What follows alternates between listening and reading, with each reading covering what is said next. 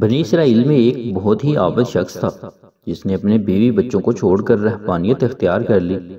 और समंदर में एक चट्टान पर छप्पर बनाकर अल्लाह की इबादत में मसरूफ़ हो गया। शरीयत मोहम्मदी सल्लल्लाहु अलैहि वसल्लम में रहबानियत अख्तियार करना जायज़ नहीं। सबका उमतों में जायज़ था। अल्लाह ताला ने इसके खाने पीने के लिए इस चट्टान पर यह इंतज़ाम किया कि वहाँ मीठे पानी का एक चश्मा निकल आया। जिससे उसे ठंडा पानी मिलने लगा। और वहीं अनार का एक दरख्त भी अल्लाह ने उगा दिया, जिससे बड़े बड़े अनार इसको मिलने लगे। और रोज़ाना एक अनार खाता और एक गिलास पानी पी लेता और सारा दिन और सारी रात इबादत में मसरूफ़ रहता। इस शख्स ने 500 साल का अरसा इसी तरह गुजार दिया। जब इसका इंतकाल का वक़्त आया तो इसने अल्लाह से दुआ मांगी कि अल्लाह, मेरी सारी ज़िंदगी तेरी इबादत में गुजरी है। अब मेरा आखिरी वक़्त आ पहुँचा है। मेरी ख्वाहिश है कि जब मेरी मौत आए तो मैं सजदे की हालत में हूँ। और मेरे बदन को तू ता क्यामत महफूज रखना, ताकि जब मैं क्यामत के दिन उठाया जाऊँ तो सजदे की हालत में उठूँ।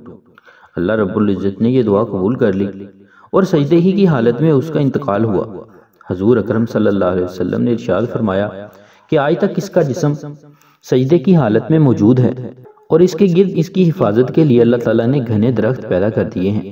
लोग इस जगह जाते हुए घबराते हैं अगर लोगों की रसाई इस मकाम तक हो जाती तो वो मकाम पूजा पाठ का मरकज बन जाता अल्लाह ताला ने वहाँ बड़े बड़े और घने दरख्त उगाकर लोगों के दिलों में इस जगह की हैबत पैदा कर दी, ताकि लोग शिरक में मुबतला न हो जाएँ।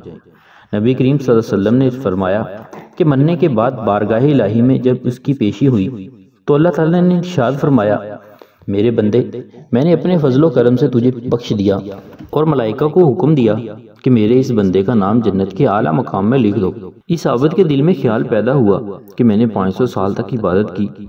बीवी बच्चों को छोड़ दिया और सारी दुनिया से बेनियाज होकर समुद्र की चट्टान पर बैठकर इबादत में मसरूफ रहा। और आज अल्लाह ताला फरमाते हैं कि मैंने तुझे अपने फजल से बख्श दिया तो मेरी वो इबादत कहाँ गई?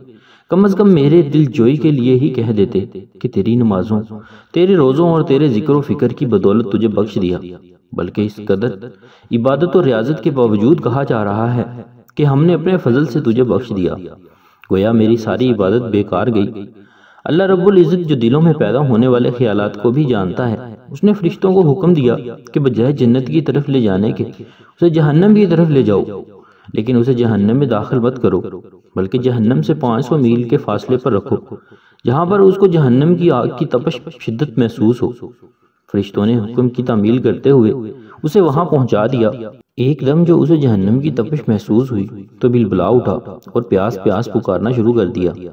जहन्नम से इतनी दूरी के बावजूद उसे ऐसी प्यास लगी कि पूरा जिसम खुश कांटा बन गया। इसी स्ना में एक हाथ नमूदार हुआ, जिसमें ठंडे पानी का एक कटोरा था। ये आबद तोड़ा कि अल्लाह के बंदे, मुझे पानी भी लाना। प्यास की शिद्दत ने मुझे बेहाल कर दिया है। वो हाथ पीछे हट गया और आवाज़ आई कि यह पानी तो तुझे मिल जाएगा, मगर इसकी कीमत है। आबद ने कहा, क्या कीमत है? जवाब मिला 500 साल की इबादत। आबद ने कहा कि फिर मुझे पानी पिला दो। मेरे पास 500 साल की इबादत है और बड़ी खालस इबादत है। इसमें किसी किस्म का नफाक शामिल नहीं। और अपनी इबादत देकर एक कटोरा पानी हासिल कर लिया। जब पीने के बाद कुछ जान में जान आई तो अल्लाह तो अल्लाह रब्बुल इज़्ज़त ने फरिश्तों से कहा, इसको वापस लाओ। फरिश्तों ने इसे फिर अल्लाह के दरबार में पेश कर दिया। अल्लाह रब्बुल इज़्ज़त ने फरमाया ए मेरे बंदे, अब 500 साल की इबादत तो तूने पानी के एक कटोरे के बदले में दे दी, लेकिन दुनिया में तो 500 साल तक जो चश्मा का ठंडा पानी पीता रहा, इसका हिसाब दे। समंदर की चट्टान पर मैं तेरे लिए अनार का जो दरख्त लगा दिया था और तू 500 साल तक इसका फल खाता रहा। इसका हिसाब दे।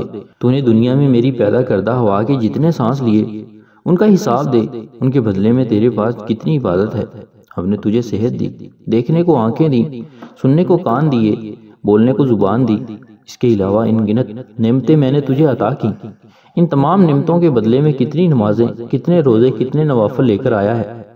तूने 500 साल तक अगर इबादत की है तो इस इबादत के लिए मैंने ही तुझे ताकत व हिम्मत अता की थी। इस ताकत के बदले में कितनी इबादत तेरे पास है? तुझे इबादत करने की ताकत हमने दी। इरादा हमने दिया, तोफीक हमने दी, दाना पानी हमने दिया। फिर भी तुझे ये दावा है कि मैंने बहुत कुछ किया और आज इसका बदला चाहता है। अरे तूने जो कुछ किया, वो तो सब हमारी मेहरबानी से किया। बता तूने अपनी तरफ़ से क्या किया?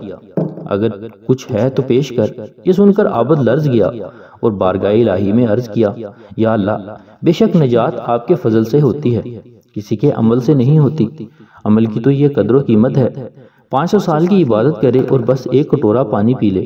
इस वाक्य में ये नसीहत पोशीदा है कि इंसान को अपनी इबादत और रियाजत पर मगरूर नहीं होना चाहिए। अगर इंसान किसी कदर इबादत कर लेता है तो उसे अपना कमाल ना समझे, बल्कि अल्लाह ताला का फजलो करम समझे। कि उसने उसे अपने दरबार में आने की तोफीक अता की है। आपने देखा कि 500 साल की इबादत धरी की धरी रह गई और नजात का ज़रिया अल्लाह का फजल करार पाया। अल्लाह के फजल की इलामत इंसान का नेक अमल है। नेक अमाल इस हकीकत को ज़ाहिर करते हैं कि इस शख्स पर अल्लाह का कितना फजल है, वरना उसे हमारी इबादत की ज़रूरत नहीं। इबादत हम अपनी बेहतरी के लिए करते हैं। बेशक अल्लाह बेनियाज है।